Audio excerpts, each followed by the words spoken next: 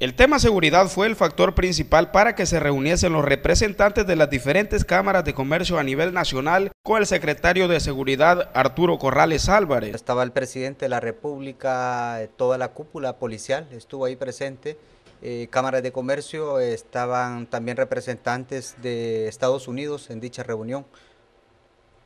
Ahora, este, con lo que puedo palpar, ¿qué expectativa le trae? ¿Qué sentimiento le, causa haber estado ahí y si cree que puede dar resultado lo que planteó el ministro de Seguridad? Bien, el plan se ve muy atractivo, se ve muy interesante porque él pretende incorporar eh, a la policía eh, los eh, presidentes de patronato y hacer un binomio entre los presidentes para poder vigilar y velar por la seguridad de cada uno de los ciudadanos y cada uno de los negocios, ¿verdad? Que pertenece, inclusive nos hablaba el señor ministro, que ya tiene un censo, hizo una prueba preliminar en Tegucigalpa donde tiene un censo por cuadrante, la cantidad de negocios que hay, la cantidad de em, hogares en cada uno de los cuadrantes y la cantidad de elementos policiales que van a estar vigilando esa por la seguridad de cada una de, estas personas. Como Fede Cámara y cámaras de comercio es muy interesante y estamos dispuestos a poder apoyarlos ya que estamos hablando de la seguridad del pueblo, la seguridad de cada una de aquellas empresas que están aportando con sus impuestos a las municipalidades. Están hablando de un presupuesto para, en el caso del combustible, para 12 unidades y cuentan aproximadamente con 20 unidades. Significa que él se ve limitado con eso.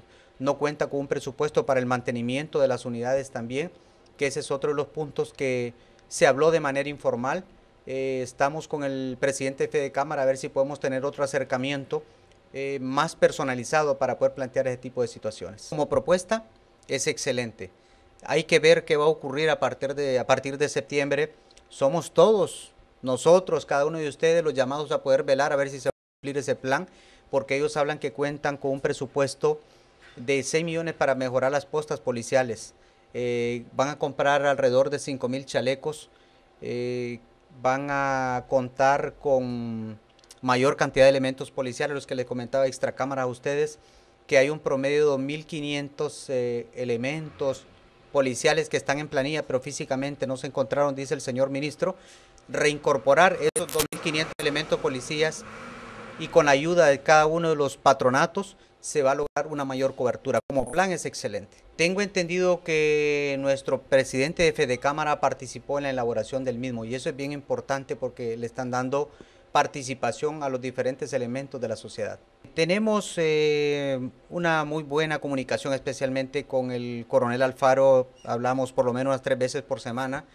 en el caso de la policía, pues lo que le comentaba es em, que uno hace una muy buena relación con ellos, pero luego los cuatro meses los cambian, hay que volver a iniciar de cero con el, el nuevo subcomisionado, pero ahorita con el el subcomisionado Erazo, que es el que está ahorita al frente, hemos hablado unas dos ocasiones, no hemos tenido la oportunidad de reunirnos, solo vía teléfono nos hemos comunicado con él. Según este entrevistado han bajado notoriamente los niveles de inseguridad en el departamento de Colón, pero habrá que seguir implementando estrategias con objetivos bien definidos para lograr los propósitos establecidos.